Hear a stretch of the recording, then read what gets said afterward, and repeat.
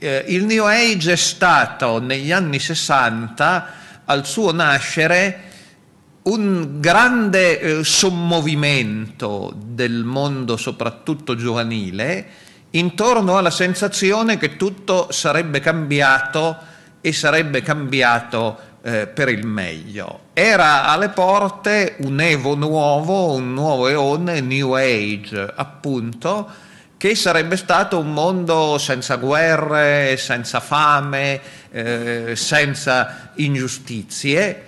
E perché questo sarebbe dovuto avvenire? Erano gli ottimistici anni 60. Perché questo sarebbe dovuto avvenire?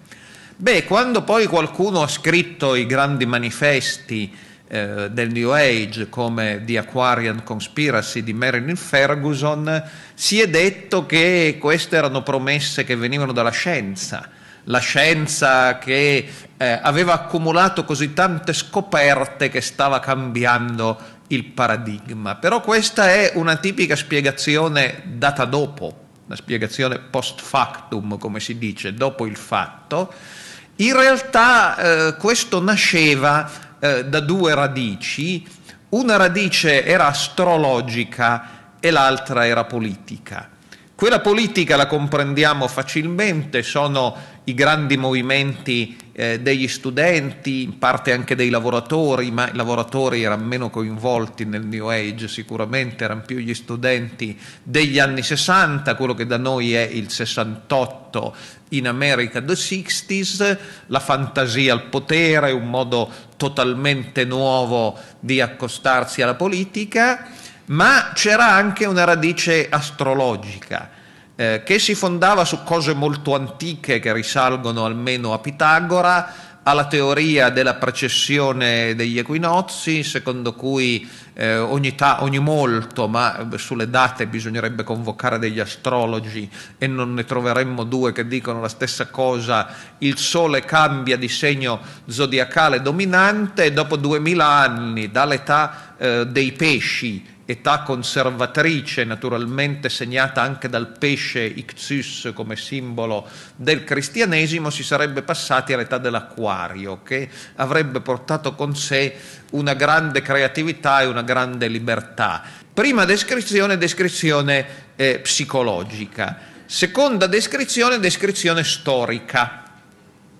Il New Age non nasce in casa cristiana. Il New Age eh, nasce eh, nel mondo eh, degli occidentali affascinati o dalle religioni orientali o eh, dalle religioni antiche o dall'occultismo, cioè tutto un mondo che aveva vissuto nella corrente meno razionalistica della massoneria eh, nell'Ottocento e poi nel Novecento aveva trovato i suoi organizzatori in gruppi diversi dalla massoneria e principalmente dalla società teosofica. È una eretica della società teosofica, Alice Bailey, eh, la prima che già prima della seconda, subito prima della seconda guerra mondiale comincia a parlare dell'idea del New Age, nel senso in cui lo intendiamo noi, ma naturalmente New Age, Novus Ordo Seclorum era anche un'espressione della massoneria. La rivista del rito scozzese della massoneria americana si è chiamata a lungo The New Age, poi hanno cambiato nome proprio per non farlo confondere con quel tipo di musica, eh? la massoneria è un'altra cosa, quindi quando New Age ha cominciato a significare altro, però questa idea del Novus Ordo Seclorum, dell'era nuova che doveva venire, il millenarismo ottimistico era tipico di questo mondo alternativo al cristianesimo e qualche volta anche esplicitamente molto anticristiano, che aveva cercato, dopo l'illuminismo e la rivoluzione francese, di sostituire al cristianesimo o il recupero, magari in chiave magica, eh, di idee precristiane oppure le religioni orientali. Ora questo mondo era vecchio. Negli anni 1960 non solo c'era una crisi delle religioni tradizionali, ma anche questo mondo era in crisi. Aveva bisogno di una spolverata, ecco, le logge della società teosofica erano frequentate soprattutto da sessantenni e quindi i giovani eh, lo sentivano come un mondo vecchio E allora il New Age storicamente è un movimento di risveglio che in fondo non inventa niente, riprende le stesse idee, l'idea delle superiorità delle religioni orientali o delle religioni antiche sul cristianesimo, che erano al cuore per esempio della teosofia, le riprende ma gli dà tutta una verniciata, soprattutto musicale, con tanta musica, perché molte di queste idee anziché essere comunicate attraverso un discorso diventano un un percorso, cioè vengono proposte attraverso, esperi- attraverso giochi, per esempio, l'elemento del gioco è sempre importante del New Age, attraverso i romanzi, la letteratura e anche attraverso la musica. Quindi vecchie cose che non erano nuove per nulla, eh, sono risvegliate, subiscono un revival attraverso una nuova organizzazione. Ma qual è questa nuova organizzazione? Ecco che dobbiamo fare intervenire la terza descrizione, cioè la descrizione di carattere sociologico. Ben prima di Internet il New Age ha portato quelli che lo hanno studiato a eh, riflettere sulla nozione di rete, di network, di net, ma di network. Il New Age è una grande rete, non è, ripeto, una chiesa, non è un movimento, non c'è il capo del New Age, non ci si iscrive, non ci si tessera, non ci si battezza, è una rete, ma meglio, è una rete di reti. Eh, la definizione che sarà poi applicata a Internet era già stata data dai sociologi per il New Age. Il New Age è una rete di reti nel senso che prende tante reti che esistevano già prima e intorno all'idea dell'evo nuovo di felicità globale che sta per arrivare le mette insieme. Per esempio la rete degli appassionati di astrologia, eh, ma questa si era organizzata almeno dal Settecento, almeno da sempre, ma eh, in associazioni strutturate almeno dal Settecento. Gli appassionati della religione degli egizi, e noi abbiamo una testimonianza che è il Museo Egizio, anche questo almeno dagli inizi dell'Ottocento. C'erano egittologi sé, ma anche egittomani che dicevano cose fantasiose sull'Egitto, sognavano di restaurarne. Gli appassionati dello spiritismo, primo presidente della società spiritica Giuseppe Garibaldi in Italia, quindi una cosa anche questa non eh, nuovissima. Eh, gli appassionati eh, dell'ecologia profonda, cioè dell'ecologia che diventa una religione, una cosa un po' più recente, ma quando comincia il New Age esistevano da almeno una quindicina d'anni. Quindi che cosa fa eh, il New Age? Prende tutte queste reti e le fa incontrare, le mette insieme eh, non c'era internet, internet è venuto dopo le origini del New York, poi sarà utilizzato, ma è venuto dopo. Dove li fa incontrare? E li fa incontrare eh, delimitando dei tempi, ci sono i grandi festival del New Age, oggi tutti un po' in crisi come Mind, Body, Spirit eh, a Londra o più vicino a noi Tisana a Lugano, eh, e ci sono dei luoghi e le chiese del New Age non ci sono, sono le librerie.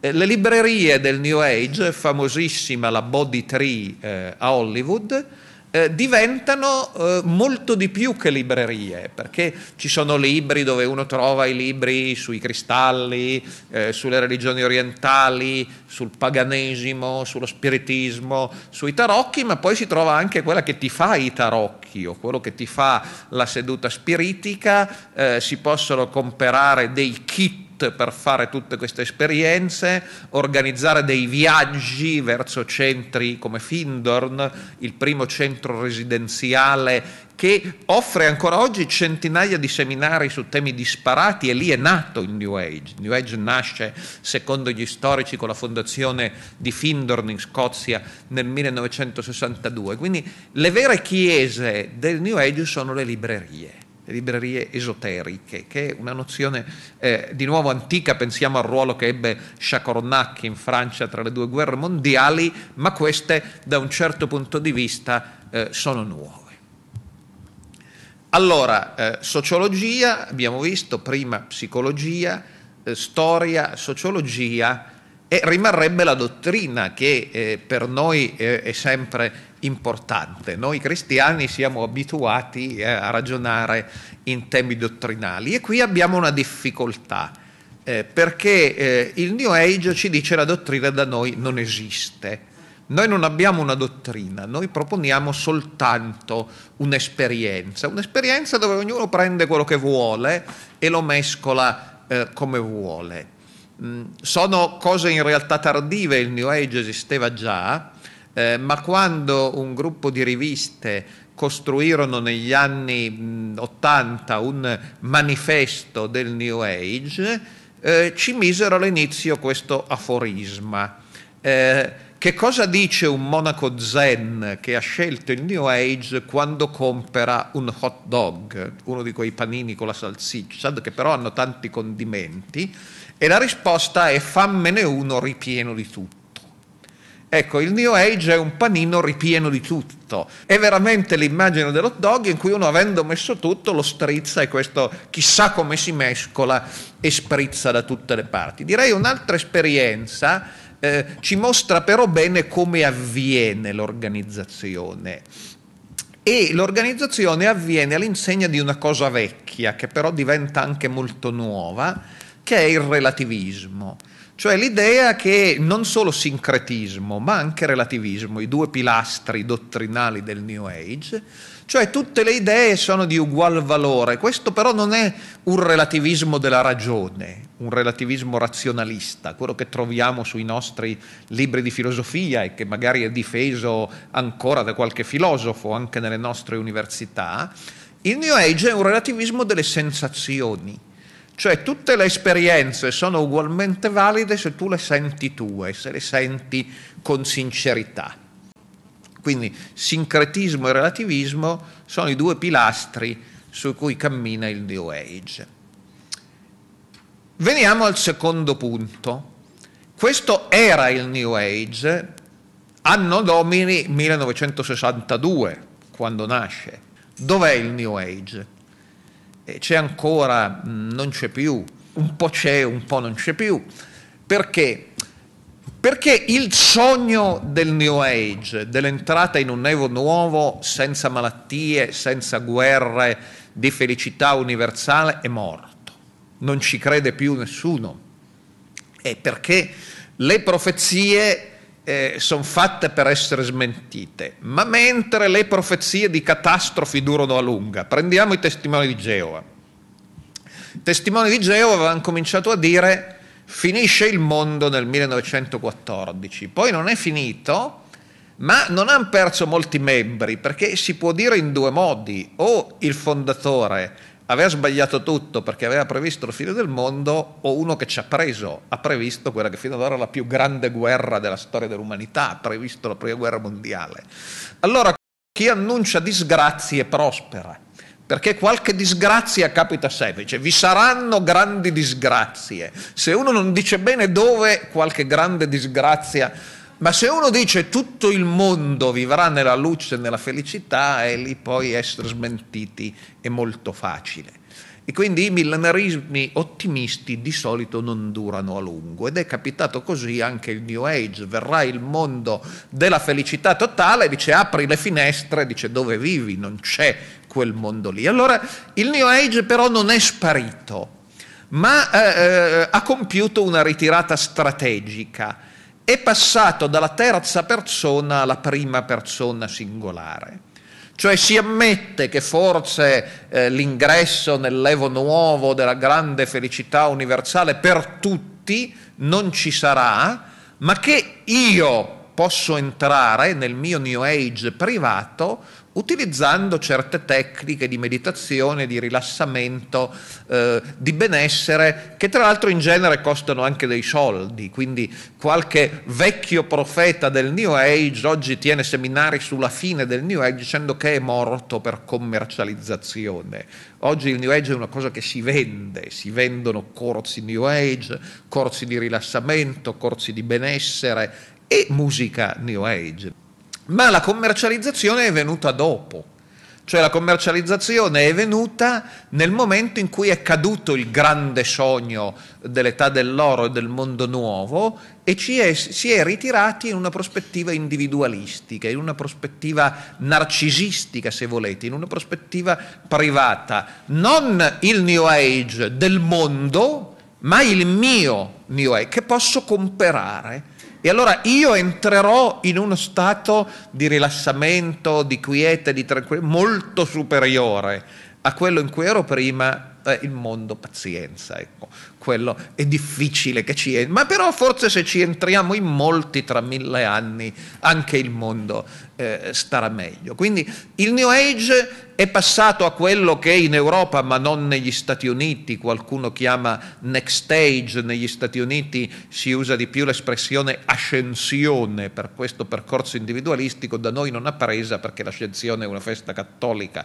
tutti penserebbero a Gesù Cristo e non al New Age, però chiamatelo Teresa eh, quello a cui abbiamo assistito è un ripiegamento su se stesso del New Age, che è certamente meno importante di quello che era mh, già soltanto negli anni Ottanta, eh, ma eh, esiste ancora come costellazione di gruppi che propongono e spesso vendono eh, delle tecniche eh, di benessere individuale.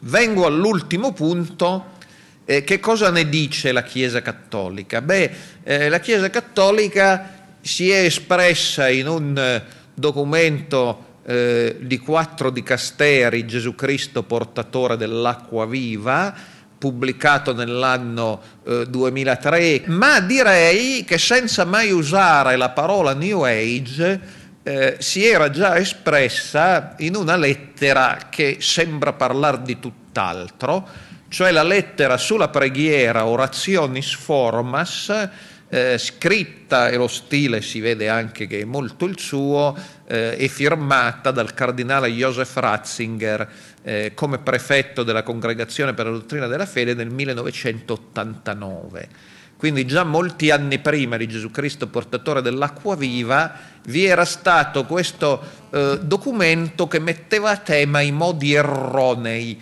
eh, di pregare. E, e quindi se il documento del 2003 eh, mostra il carattere molto problematico del New Age eh, per i due pilastri che lo reggono, il sincretismo e il relativismo, quindi dice c'è qualcosa di buono. Beh, eh, l'unica cosa buona che si può vedere nel New Age è che molte persone lontanissime dalle religioni tradizionali hanno però una nostalgia di una qualche forma di spiritualità. Però questa nostalgia batte due strade sbagliate, il sincretismo e il relativismo, che non li porteranno eh, molto lontano, quindi il giudizio è negativo. Direi che la radice di questo giudizio negativo noi la troviamo proprio nella lettera Orationis Formas sui modi erronei di pregare che colpisce nuove forme di gnosticismo, fascinazioni talora maldestre per le religioni orientali. Ripeto, senza mai nominarlo c'è già dentro tutto il New Age. E quindi qui concludo perché credo che lì ci sia da parte del cardinale Ratzinger una critica molto penetrante di che cosa succede. Cioè, alla fine, la critica principale che noi possiamo rivolgere a questa mentalità è che nega la distinzione, così si esprimeva quella lettera, fra creatore e creatura. Cioè creatore e creatura sono la stessa cosa. Meglio, la distinzione fra creatore e creatura, così c'è scritto, è negata come qualche cosa che non ci dovrebbe essere. Cioè la distinzione creatore creatura è cattiva per il New Age e per altre tendenze di tipo gnostico o eh, di inseguimento occidentale di modelli orientali, questa tendenza è eh, criticata eh, dal New Age come qualcosa che non ci dovrebbe essere. Quindi alla fine che cos'è il New Age. Il New Age è una delle forme del panteismo. E così possiamo aggiungere un'altra parola, dopo sincretismo, il panino ripieno di tutto, che mette insieme tutte le religioni e tutte le spiritualità. Il relativismo non riusciamo a capire cos'è la verità, perché tutto quello che è sostenuto da una sensazione è vero. Arriviamo attraverso il giudizio della Chiesa a una terza espressione, panteismo. Dio non è una persona, ma Dio, non Dio è il mondo, è entrato un accento, Dio è il mondo. Tant'è che la Terra è un essere vivente, per cui da questo punto di vista il film più New Age, ma un po' retro New Age, è Avatar, perché Ewa, la divinità eh, del popolo rappresentata in Avatar, è veramente la Terra, cioè Dio è eh, il mondo. E vorrei allora concludere eh, dicendo che questo problema è molto molto antico. La Chiesa si è trovata, certo il New Age ha delle declinazioni nuove, ha un'arte nuova, una musica nuova, ha degli accenti nuovi, ma il New Age è anche molto vecchio, perché la Chiesa si è trovata di fronte al problema del panteismo eh, subito. Mi piace allora concludere con una pagina di un libro che è Gesù di Nazareth, seconda parte, di Joseph Ratzinger barra Benedetto XVI, dove a un certo punto si dice che alcuni lessero eh, o ascoltarono il messaggio di Gesù Cristo, ma lo interpretarono secondo le categorie di Plotino, cioè della filosofia neoplatonica, e commisero un grave errore, perché superficialmente lo schema di Plotino, dice il Papa, che prevede un exitus e un reditus, un'uscita del divino da se stesso, e questo è il mondo, e poi un eh, ritorno dal mondo al divino, cioè un ritorno del divino in se stesso, e lo schema trinitario di Gesù Cristo che viene nel mondo e torna al Padre, possono sembrare simili, ma in realtà sono opposti. Da qui l'equivoco, in realtà sono opposti perché nello schema monista e panteista dei neoplatonici e degli gnostici, eh, dice il Papa, il mondo e Dio si confondono e questo porta o a una svalutazione materialista di Dio, Dio è solo un nome del mondo, o a una svalutazione del mondo. Dio decade facendosi mondo, la materia è una cosa brutta, il corpo è una cosa brutta, la carne è una cosa brutta e il ritorno a Dio porta alla negazione di queste realtà. Quindi o materialismo o uno spiritualismo che disprezza la carne. In Gesù Cristo non c'è niente di tutto questo. In Gesù Cristo l'exitus del figlio dal padre lo porta a prendere una carne umana e a valorizzare pienamente la nostra umanità, ma il suo ritorno al padre lo porta a sottolineare la distinzione fra l'umanità e Dio, fra le creature e il creatore. Quindi né assorbimento del mondo in Dio, né assorbimento di Dio nel mondo, né svalutazione immanentistica di Dio, né svalutazione della carne, il figlio dell'uomo mangiato e bevuto. Quindi alla fine il New Age è una grande storia, se volete, una storia che si è dipanata ormai nell'arco di 50 anni, ma dal nostro punto di vista il conflitto fra la prospettiva cristiana e il New Age è il vecchio conflitto del cristianesimo con lo gnosticismo e il panteismo che risale ai primi anni dopo l'ascensione.